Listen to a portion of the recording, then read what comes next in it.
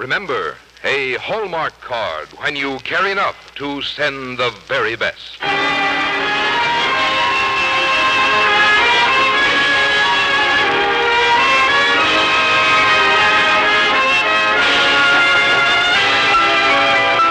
Tonight from Hollywood, the makers of Hallmark greeting cards bring you Robert Walker in Jean Holloway's Wedding Morning on the Hallmark Playhouse.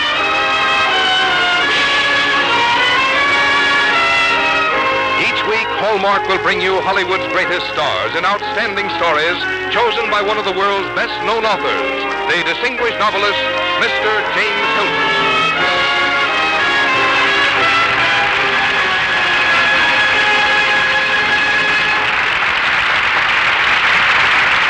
Good evening, ladies and gentlemen. This is James Hilton. Tonight on our Hallmark Playhouse, we depart a little from our tradition by presenting a story written for radio by one of our own valued writers for the Hallmark Playhouse, Miss Jean Holloway. Miss Holloway has done such fine work during the past year in adapting other people's stories for the radio that we thought it would be an excellent idea to have her give us this evening a story of her own called Wedding Morning, a romantic comedy, but more than that, a love story. And we've been additionally fortunate in getting a very fine actor to star in it, Mr. Robert Walker, whose engaging personality has given him such wide and deserved popularity. And now a word about Hallmark cards from Frank Goss before we begin our first act of Wedding Morning starring Robert Walker. At Christmas, as on every memorable occasion, you'll take special pride in sending Hallmark cards. Because just as for hundreds of years, the word Hallmark has been the distinguishing symbol of quality. So today, the hallmark on the back of your greeting cards is your assurance of perfect taste.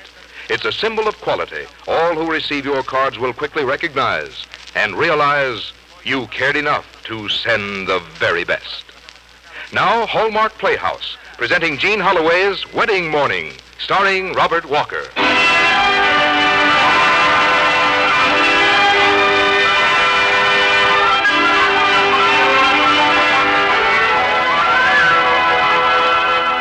It's early morning of a very special morning. It's been referred to in poetry, in stories, in advertisements as the happiest morning of a girl's life. No one ever says much about what it is in the groom's life. You're going to meet the groom before you meet the bride. You'll hear him snoring, but he isn't really asleep. Christopher, wake up, dear. It's time to get up. That's the groom's mother who just spoke, Mary Thayer. And that's her husband, Frank Thayer, standing beside her. Now, we let you hear what's going on inside the groom's mind while he's lying there pretending to be asleep. You don't move. You snore as loud as you can. You figure that if you keep snoring, maybe they won't have the heart to wake you up. Look at him, Frank. This is the last morning I'll be coming like this. to... Oh, Frank. Now, Mother, hold on to the waterworks. He looks so helpless, so completely defenseless. He's too young. Frank. Well, let's get him out of bed and prepare him for the kill. Come on, Christopher, get up. Christopher, I know you hear me. Come on, get up. Oh, is it morning? Now, dear, you must get up. I've fixed you muffins and all the rest of your favorite things for your last morning. Oh, Mother, for Pete's sake, I'm, I'm getting married, not buried. I hope so, son. Yeah, look, uh, why don't you go put the muffins in the oven, Mother? Oh, sure. Keep your chins up, Mom. Christopher. this is a very solemn occasion. Yeah. How do you feel, son? Oh, I, I don't know. Well, you stand this morning where your father and your grandfather stood before you, facing a lifetime sentence. Oh, gee, Pop, I, you know, marriage is a pretty serious step when you get right up to it, isn't it? You can say that again. Now, you better get into your shower. You haven't any too much time. Go on, John. Go on. Yeah, yeah, sure. Go on, go on. You walk across the room thinking about it all. You get in your shower. You, you stand there with a cold spray biting you, thinking to yourself, how did I get into this? All I said was, that's a pretty girl. And then darkness set in. You see your father walking up and down outside the shower, and you think, well, marriage is all very well for people like him and your mother, but their life's over. And once more you think, how did I get into this? And you grope your way back through the months until you remember the first date that you ever had with Connie. You went to the movies. And on the way home, you stopped and sat in the park. You remember the way she looked. You remember every word she said. Ah, Gee, that was a good picture. Had such a nice, happy ending. Yeah. Do you like all your pictures to have happy endings? Of course. I always want Cinderella to get the prince.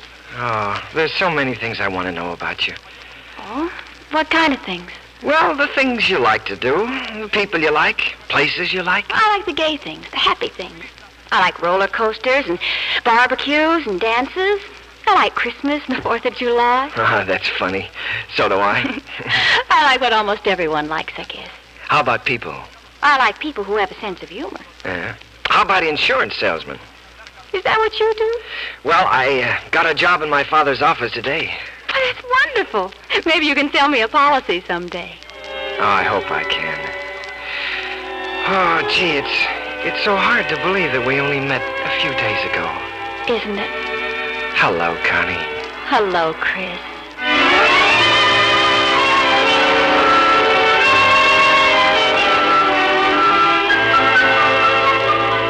What a prize chump you were. You stand there in that cold gray shower remembering how she said, I always want Cinderella to get the prince. And you break out in a sweat. Hey, son, how many layers of skin are you washing off in there? Say, uh, Dad, Huh? uh, do you suppose there could be anything wrong with the license? Not a chance. No. They know what they're doing at the courthouse, and they're completely on the woman's side. Frank, Chris, breakfast. Breakfast on the table. I'm not very hungry. I wasn't hungry on the morning I got married either. But your grandmother told me your mother ate a breakfast fit for a stevedore. Dad, when they say, do you take this woman, has anyone ever been known to say no? Not that I know of. I don't know why anyone ever gets married. It must spoil an awful lot of friendships. Connie's probably eating her head off right now. Yeah, and old man Martin's probably complaining about his breakfast. I can just hear him. Where's my breakfast? I'm hungry. That's what he's saying. Where's my breakfast? I'm hungry. Where's my breakfast? I'm hungry. Oh, now, Connie, you simply got to stop this crying. I can't. Well, your face is going to be all swollen. You don't want to be a bride with a red nose, do you? I don't want to be a bride at all. Where's my breakfast? I'm hungry. Now, Walter, I only have two hands and two feet, and I'm using them as fast as I can. How can you be hungry on a day like this? I can be hungry any day. It's no effort at all. Pop, do you think Chris will be bald someday? He might be if you make life hard enough for him. Oh, Pop, I don't think I want to get married. Here are your eggs, Walter. Nonsense. Of course you want to get married. Every girl wants to get married. I don't. Then why did you tell that young man you'd marry him? Now, Walter, quit picking on the child. Every girl feels like this on her wedding day. Well, I don't know why she should. She's fulfilled the thing she was put on earth to do. She's hooked a man.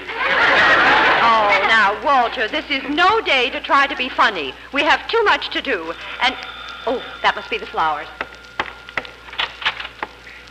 Oh, if we could only postpone the wedding for a week or two. I, I'm not ready to get married. I, I want to think about it. You've had a whole year to think about it. But, Pop, I'm afraid I've changed my mind. You can't change your mind. Why not? Because the church and the minister and the dress and the shoes and the reception and the veil and everything else has been paid for. Oh, you make it all sound so commercial. You get that way after paying bills for years. Well, do you want me to ruin all the rest of my life just so you won't have to waste your money? Connie, if you don't want to marry that young man, then telephone him right now and grant him a reprieve. I can't tell him myself. Pop, I'm so unhappy. I don't know why you're acting like this. You've got that lovely dress that cost $79.20, and that beautiful veil that cost $10.95, and that fine young nincompoop that. Oh, I don't want to get married. I don't want to get married. I just don't. I can't stand any more of this. Connie, you don't have to get married today. You don't have to marry that idiot or any other idiot. As far as I'm concerned, I'll buy you some cats and some knitting, and you can be an old maid. Oh, Pop, You mean you'll get me out of it? You, you'll talk to him? But you'll have to get over to the Thayers right away. Hurry, it's getting late. All right, I'll go. You're sure you want me to call it off? I'm positive. All right, Connie. All right. Well, you stay right here in this room until I get back. Oh, you're the most wonderful father that ever lived. I'm also the one with the fattest head. Oh, well, I should be received with rejoicing in the other camp. Your father goes out the door, and you're alone. You slip Chris's engagement ring from your finger, and your hand feels so light. You wonder why your heart feels so heavy. You think to yourself you're free again. Your life is your own. You can go out with anyone. You. But not with Chris. You'll probably never see Chris again. You sink down on the window seat. You close your eyes. And you begin to remember. You remember the night you and Chris went to the carnival. It was a night of candied apples and merry-go-rounds and shoots the shoots and Cupid dolls. It was a night of stars, seen beyond the fairy tale rim of a Ferris wheel. Have some more popcorn? Mm, mm, thanks. Oh, this is some Ferris wheel, isn't it? Oh, I'll say. Connie. Huh? Ah, you're so doggone beautiful. You did say you liked baseball, didn't you? Love it. Football? Uh-huh. Pinochle? Absolutely.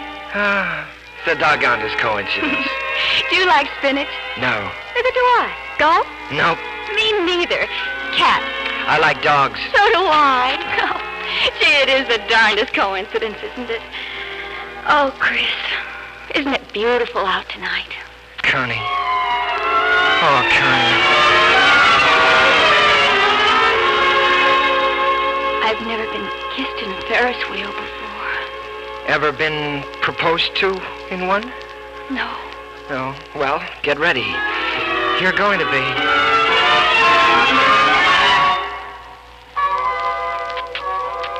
You remember how you came home feeling that some of the stars must have stuck to the candied apple on your face, and that you must have swallowed the Ferris wheel because it was still going round inside you. And then, then you remember another night, and Chris, all dressed up and perspiring, facing your father. You remember exactly what your father said. What do you mean you want to marry my daughter? Yeah, well, sir, I mean, well, she, uh, I, well, you know how it is. It's perfectly ridiculous. You hardly know one another. We've known each other just as long as you knew Mother when you got engaged. Doesn't that frighten you? Well, it, it doesn't frighten me. I love Connie. How do you know? Well, how do I know anything? I'm not sure you do. Well, I, gee, I'm sorry you don't like me, sir, but Who said anything about not liking you? I just don't think that you know what you're doing. well, I, I do know that I love Connie, Mr. Martin, and I'll do everything I can to make her happy. Okay. Put her there, son. Thanks, Pop. Connie? Now, Connie, you simply have to stop daydreaming and start getting ready for your wedding. Oh, Mother, Pop went over to the Thayers to call off the wedding. It's all over. It's all over.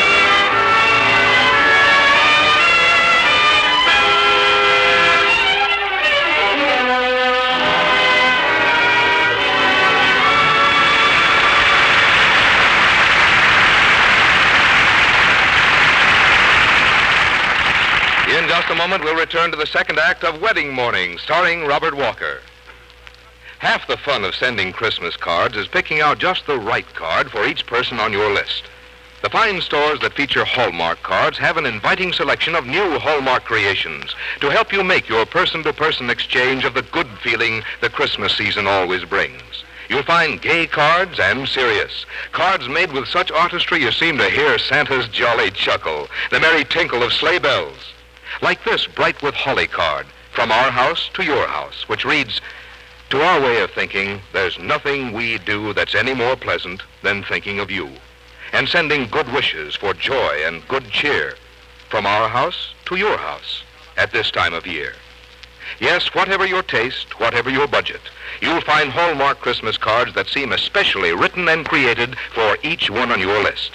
As you make your selections, look for the Hallmark on the back of each card. It's a symbol of quality all who receive your cards will quickly recognize, and they will realize you cared enough to send the very best. And now here is the second act of Wedding Morning starring Robert Walker.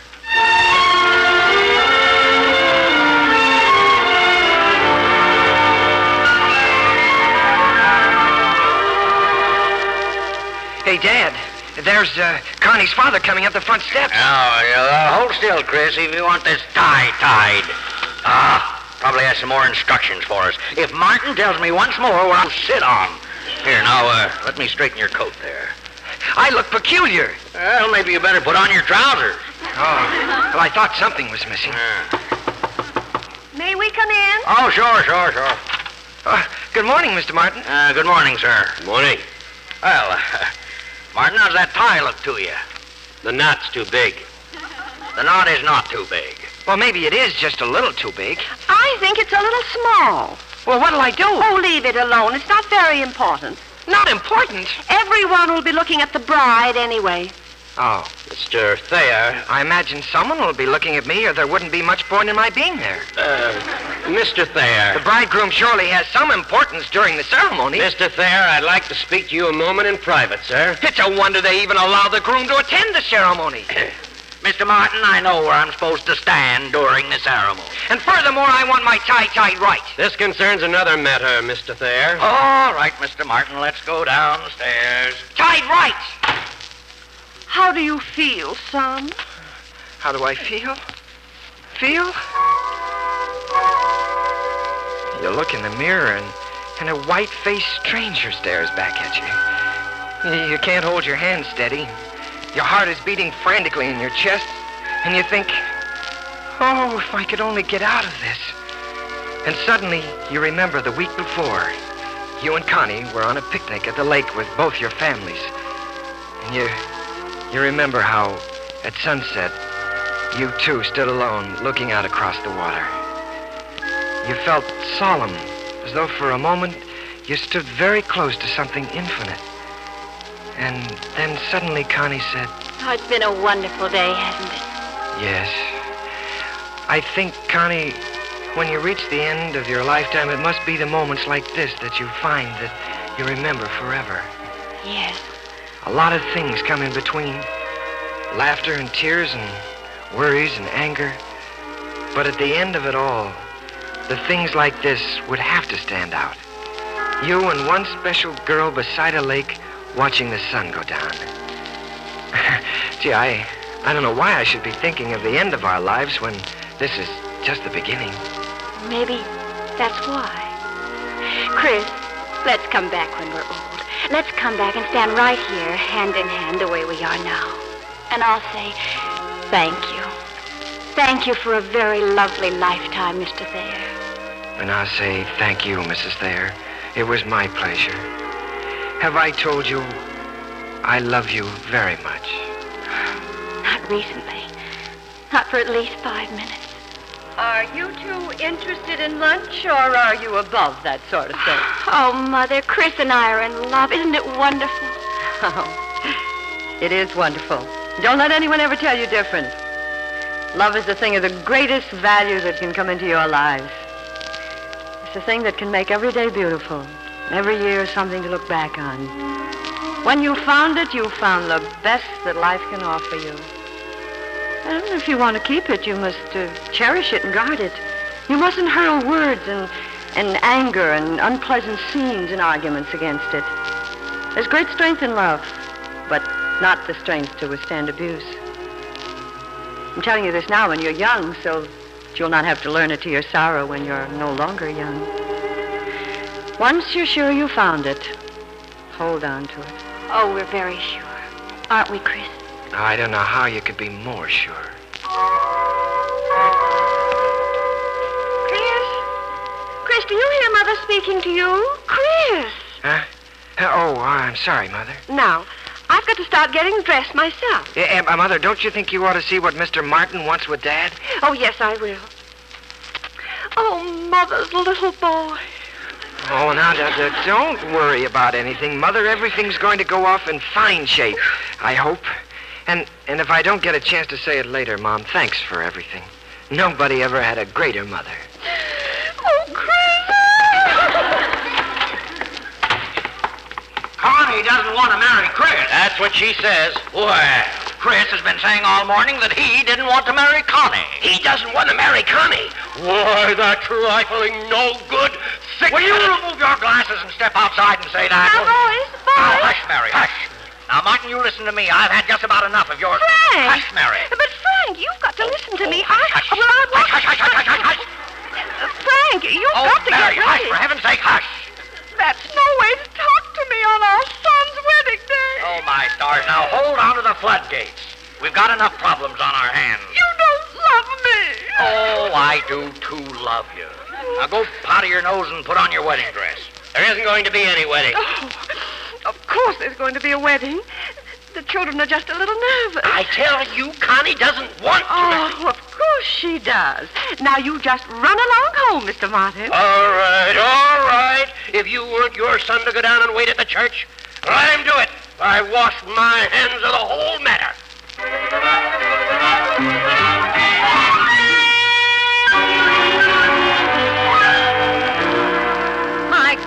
Walter, where have you been? You've almost made us all late. Well, thank heavens you're dressed. Now let's go. Go, go. How do I look, Pop? Look. Where do you think you're going in that wedding outfit? Walter, what on earth is wrong with you? She's going to get married. You know that. Now, come on. You almost made everybody late. I give up. Now, Connie, hold up your skirt and be sure not to sit on it in the car. And, Walter, for heaven's sakes, fix that tie. It. Connie, do I look all right? Oh, you look beautiful, Mother. Oh, golly. I feel like you feel at the top of a roller coaster. I wonder how Chris feels. I, I'm suffocating. I can't breathe in this collar. Roll all the windows down. They are all down. Well, then open the door. Oh, my gracious, my hair's going to be blown to bits. What do I what do I say when the minister says, "Do you take this woman?" Do I say I do or I will? Well, whatever you say after you've said it, that's all wrong. Frank, Well, which do I say? say I do. That's what most people say. Uh, maybe I will is more original. all right, then say I will. Well, why does he have to be original? I like to see a boy have a mind of his own about things. I guess I'll say I do. No, your father wants you to say I will. Oh, I don't care what he says. For heaven's sake. Well, here we are. Oh no, we couldn't be here already. Well, we are. Let's drive around the block once. Right. We haven't got time. Now we're to hurry right through the side door. Come on, come on.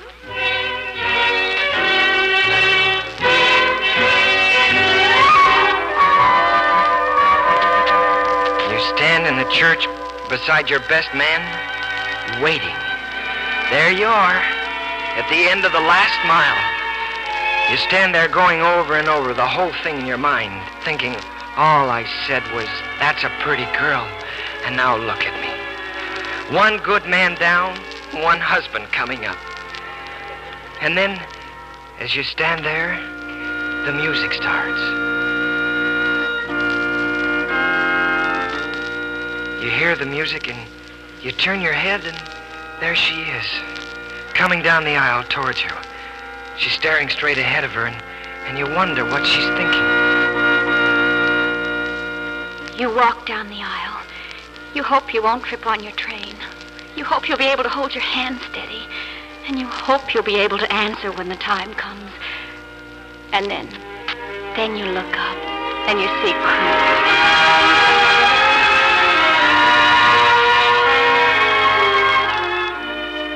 She looks at you and she smiles. And your heart drops down to your knees and comes back up again. And you think, oh, honey, somewhere in the past 24 hours, I almost lost you. But thank heavens I didn't.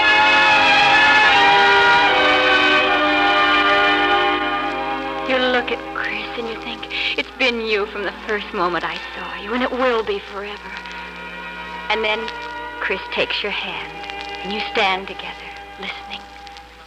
Dearly beloved, we are gathered together in the sight of God and this company to unite together this man and this woman in the bonds of holy matrimony. You stand there listening to the old loved words. And as you stand there, you find yourself thinking of your mother and father standing like this, and their fathers before them. And you think of your children who will come after you. And for those few moments, you have a oneness with the ages. And then you turn to Connie and you kiss her. And bells start ringing in your ears, and the world opens in front of you, and, and it's your morning, your wedding morning.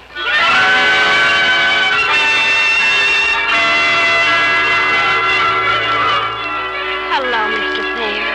Hello, Mrs. Thayer. For now and forever, so long as we both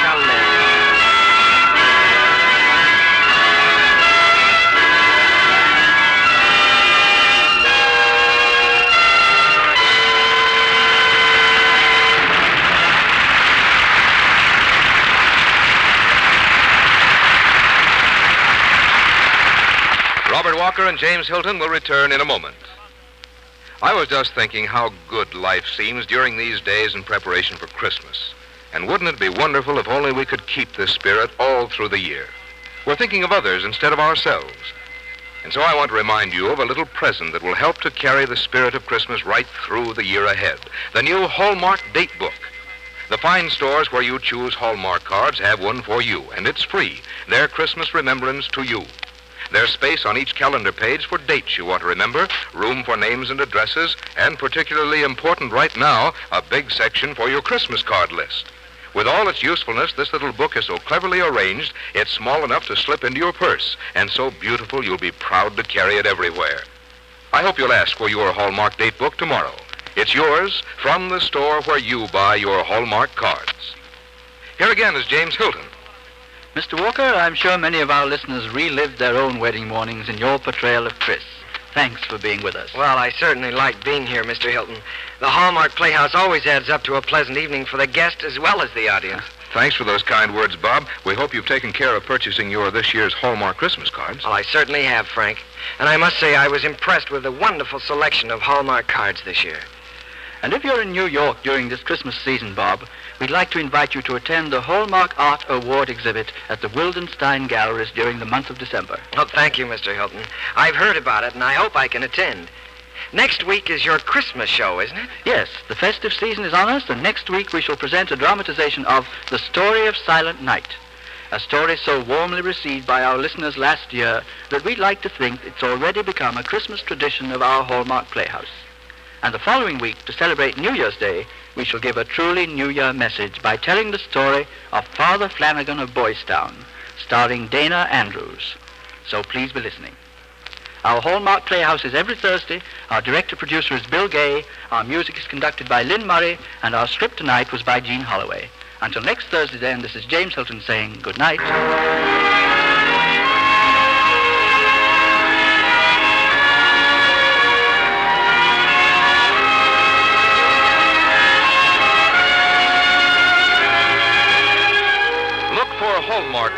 Are sold only in stores that have been carefully selected to give you expert and friendly service.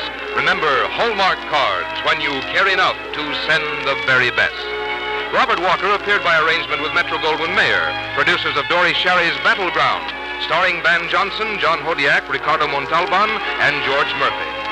This is Frank Goss saying goodnight to you all until next week at this same time when James Hilton returns to present our special Christmas program, Hertha Pauli's The Story of Silent Night. And the week following, Fulton Oursler's Father Flanagan of Boys Town, starring Dana Andrews. And the week after that, Claudette Colbert in The Egg and I on the Hallmark Playhouse. This is CBS, the Columbia Broadcasting.